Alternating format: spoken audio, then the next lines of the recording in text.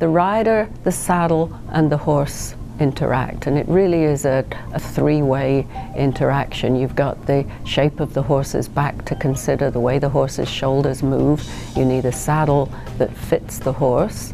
And then you need a rider that fits the saddle. I should probably say that the other way around. The, the saddle needs to also fit the rider because if the rider's not comfortable, then they're going to sit in a different position, maybe sit a little bit off center, and that's going to affect the force that the horse feels on his back.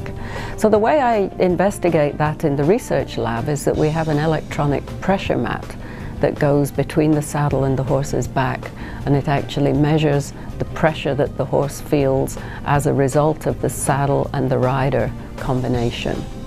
So it doesn't tell us exactly what the problem is, you know, you still need to be able to interpret the data, but it will show you, for instance, if there's more weight on the left side or the right side, or if there's too much pressure over the horse's shoulder or under the stirrup bar, that kind of thing.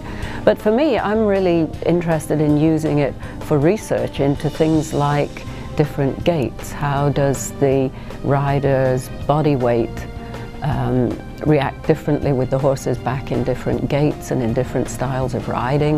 Um, if you use a rising trot rather than a sitting trot, you can decrease the peak pressure on the horse's back, but the pressure gets spread out more over the entire stride. So the peak is lower, but the lowest pressure is higher. That makes sense.